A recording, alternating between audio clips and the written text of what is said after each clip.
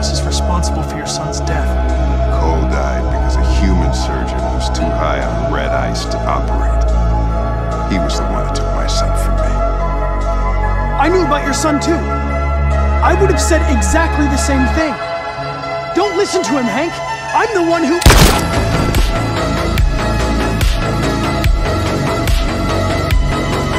I've learned a lot since I met you. There's something to